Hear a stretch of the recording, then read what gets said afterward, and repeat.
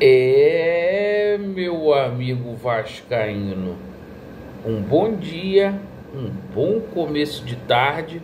Hoje o nosso vídeo um pouquinho mais tarde por conta do treinamento do Vasco da Gama acabou nesse exato momento e a gente vai explicar para vocês o que aconteceu lá em São Januário, uma festa muito bonita que o torcedor do Vasco da Gama mais uma vez demonstra o seu amor pela a instituição e muita confiança que o Vasco vai passar pelo Atlético Mineiro amanhã em São Januário. Eu peço a você que não é inscrito para você poder se inscrever deixe o seu like ou o seu dislike e ativem o sininho. Meus amigos, bora aí pro nosso vídeo. Acabou agora o treinamento, o Vasco fazendo a sua preparação, um jogo decisivo contra o Atlético Mineiro, um jogo que pode colocar o Vasco na final da Copa do Brasil já disse a vocês em outras ocasiões que é muito mais do que um jogo de futebol.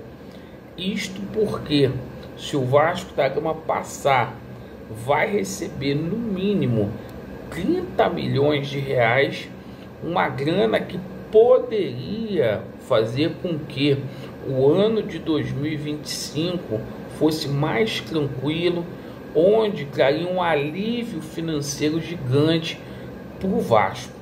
Então, assim, os atletas sabem aí da responsabilidade e do significado dessa partida. Bom, o seguinte, agora no treinamento da manhã, a gente teve ali algumas novidades. É, foi um treinamento mais assim para o torcedor é, aplaudir, para o torcedor apoiar, mas agora na parte da tarde tem um treinamento para valer. Esse aí vai ser fechado no CT Moacir Barbosa. Claro que nesse treinamento aberto ao público, o Paiva não ia entregar ali, principalmente ali a situação de batida de pênalti. Um jogo que tem grande possibilidade, tá? Então vi muitas pessoas falando assim: ah, mas que o Vasco ferrachão, bobinho.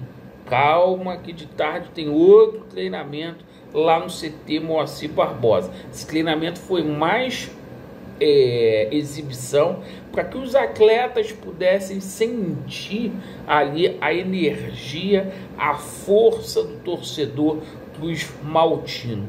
E o seguinte, a gente viu ali algumas novidades, né? de o Souza treinando como zagueiros mesmo, né? O Souza fazendo a sua atividade ali como zagueiro. Vimos ali que o Paiva provavelmente deve colocar o mesmo time que atuou contra o, o São Paulo.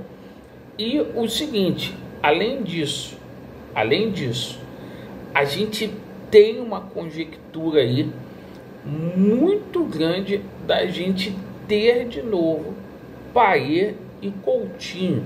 Eles trabalharam junto a parte ali de finalização. A gente acompanhou ali pelo BTB Esporte que o Paiva deixou 11 jogadores ali reservados, certo?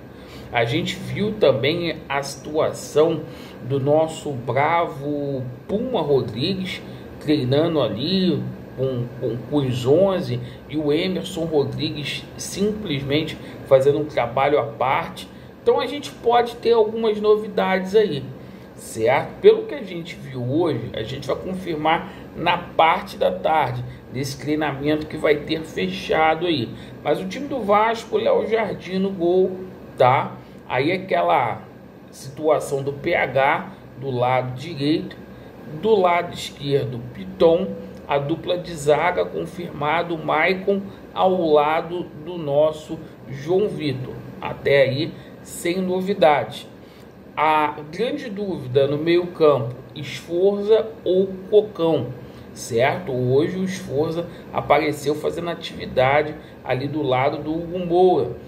E a gente vai ter ali o nosso bravo Felipe Coutinho.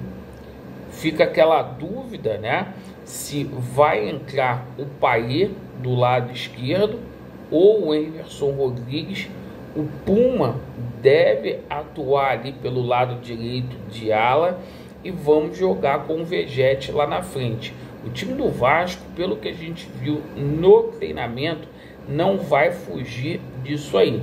Agora é o seguinte, é importante a zaga do Vasco da Gama dar aquela segurada, porque o grande calcanhar de Aquiles do Vasco é a zaga. Se a zaga segurar, o ataque geralmente costuma fazer gols esse ataque do Vasco da Gama. Assim, vamos passar alguns dados importantes para vocês. Essa equipe do Atlético Mineiro evoluiu muito defensivamente. O Atlético Mineiro é uma equipe que dificilmente toma dois gols numa partida.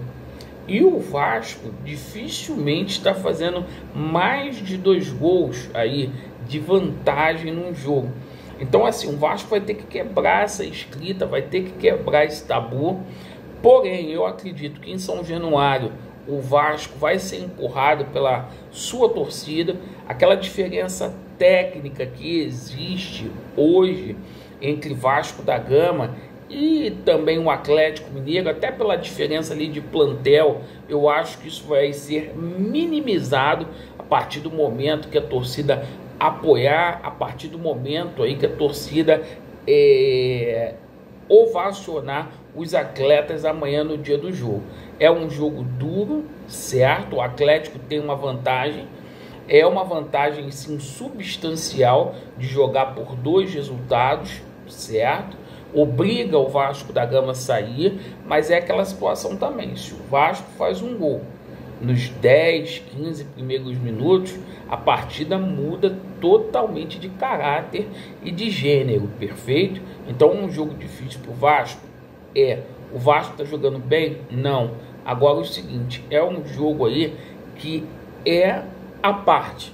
É um jogo que, como todos os outros jogos da Copa do Brasil, que também o Vasco não era favorito, como o Atlético Paranaense como Fortaleza, que está brigando lá no, no topo do Campeonato Brasileiro, o Vasco conseguiu se superar.